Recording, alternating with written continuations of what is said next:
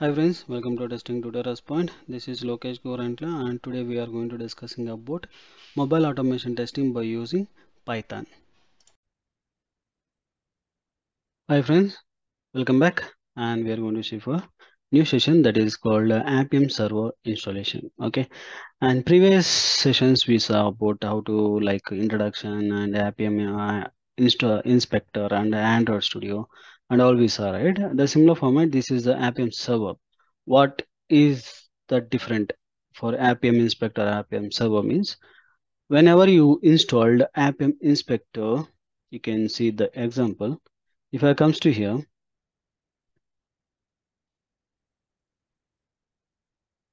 now you can i have some desired capability okay just i'm going to show you okay now if i'm going to hit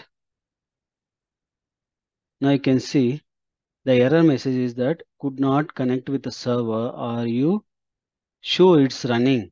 If you are if you are using for browser version also you can appium server has been started with the allow cors. Okay this is the error message. We can able to get it from here.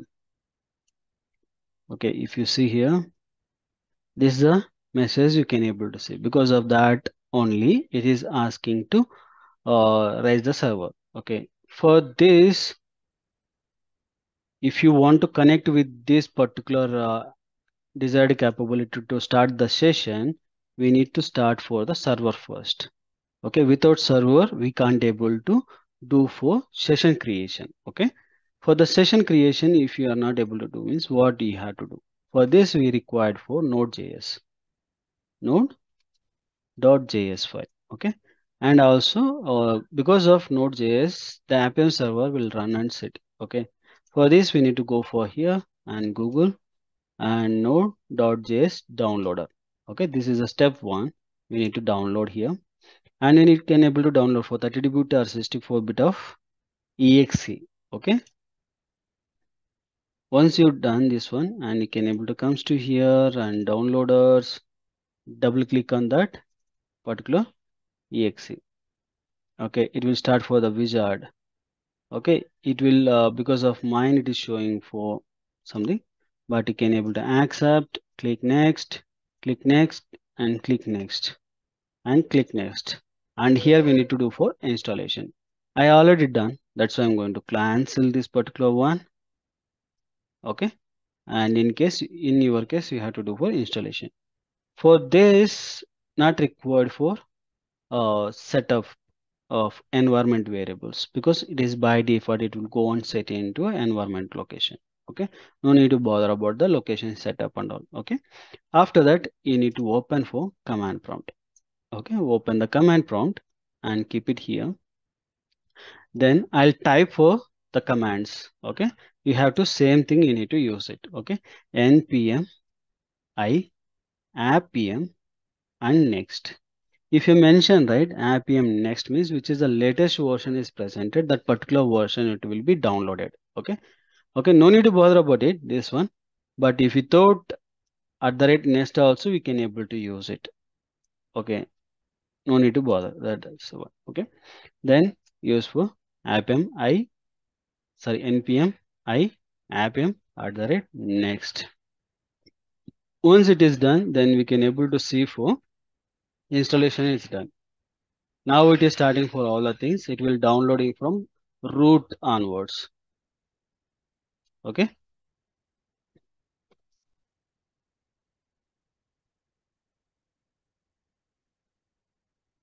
Now it will take some uh, little bit time okay? Now you can see npm is downloaded and 24 and availabilities are done okay? No need to bother about it but it will download everything and we can able to keep it okay? And then we can able to search for appium version appium version. Then we can able to see which is the appium version is presented. Latest version we can able to see from here. Now this is a 2.0.0 hyphen rc.3 version is downloaded and installed okay? Then we can able to see another one we need to install that is called appium doctor this appium doctor what will happen if there is any software is required whether this uh, entire Appium is enough for the software to run your local or not. This one it will check in the backend. Everything it will check the doctor whether it is required things are installed in your system or not. If it is installed, then okay. If it is not installed, what are the things we need to install? This it will show you.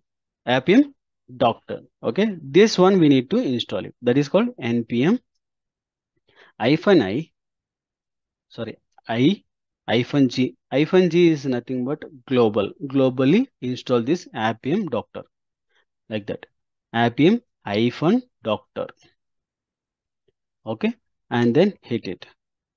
Once you hit, it will start for downloading everything. Okay. Which is related to do doctor related packages. It will download and it set it. Okay. Once it is installation is done, we need to check for the Appium doctor whether it is installed or not. If it is installation is done 100% guarantee, then we can able to get for the version which version we have present. Okay. For this, we need to use for Appium hyphen doctor hyphen hyphen version. Now 1.16.2 version it is downloaded. That is the latest version. Okay. Now we need to check for whether we are done for all the installation plugins or not for re related to Appium. For this Appium hyphen doctor space hyphen hyphen Android. Okay. Then enter. Once you enter, it will start for all the things. You can able to see necessary dependency starting. What all the necessary uh, things are presented, everything it will go on check. Now you can see by run Appium doctor again when all the manual fixes has been applied. If there is any something, it will be applied. See all the things, Java, Android home is presented, Node.js is presented, Node.js binary format where it is presented, and Java home. Sorry, one of the main thing I forgot to uh, tell you that is a Java home. You have to set up Java as well. And my previous video, I'm not see uh, shown that because I showed only Gradle. Uh, for this Java also required to run for this Android Appium. Okay, Java 8 or above versions we need to install into your local. Okay that you can able to install into your local. Okay i'll make for another video to showcase how we can able to make it or else you can go ahead and do it. Okay okay? And this is all about for appium. Okay once you've done this one and you need to open for cmd and appium space hyphen p space and you need to use for this is a version 4724 and maybe you can uh, have some question. Can i change for this 4723 or 4721 4722 like that? Yes you can able to. Any port number you can able to change. Until that should not be somebody used. Means in your system that particular port should not be run. If it is not run we can able to use it. Then you can able to see here, the Appium server will be start here. Now the port number, you can see welcome to Appium version, it is showing and also non-default server port, this is the port and attempting for UI Automata 2.